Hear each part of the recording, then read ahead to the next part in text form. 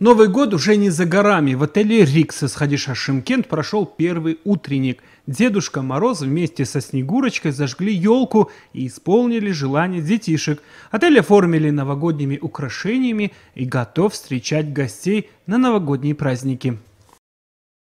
Очень много радости, счастья, успеха, а главное прибыль и ум детишкам. А когда снег в Шимкенте будет? Скоро должен пойти, как после первой елки, когда мы ее зажгем.